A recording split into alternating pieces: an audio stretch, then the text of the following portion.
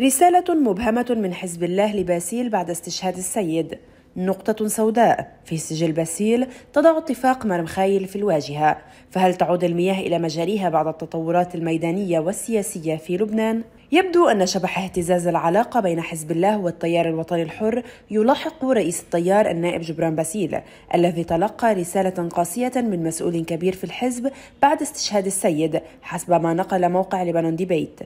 وفي التفاصيل نشر الموقع خبرا مفاده أن مسؤولا كبيرا في حزب الله نقل رسالة واضحة إلى باسيل مضمونها نقطة سوداء في سجلك أن يستشهد السيد حسن نصر الله وهو غاضب عليك. لشريك النصر. لشريك النصر السيد حسن نصر الله. فهل سيلاحق غضب نصر الله باسيل خلال المرحلة المقبلة؟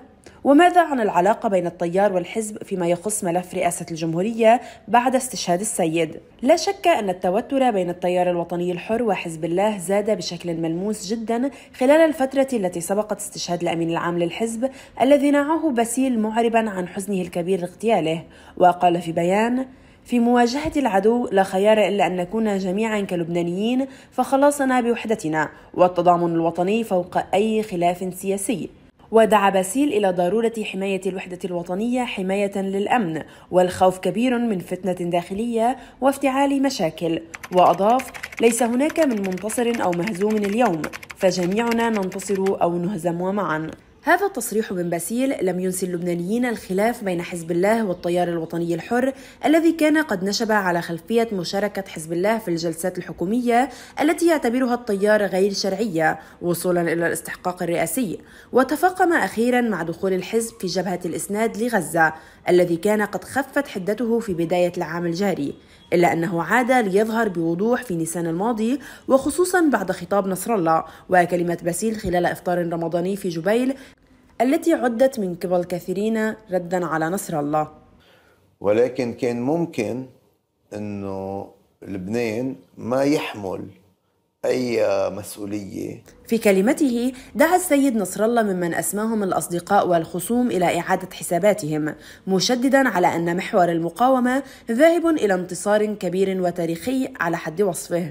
من جهته سريعا ما رد باسيل قائلا أنه عندما يعتقد أحد أنه يمكنه التحكم ببقية إخوانه المواطنين وينتصر على إسرائيل فهو وهم وتابع مؤكدا على ضرورة الحرب التي قال أنها ليست في صالح لبنان متسائلا عن مغزرة لبنان بصراعات ليس لنا فيها وكلفتنا اثمانا كبيرة وتابع متسائلا لصالح من ومن أجل من نمدد هذه الحرب.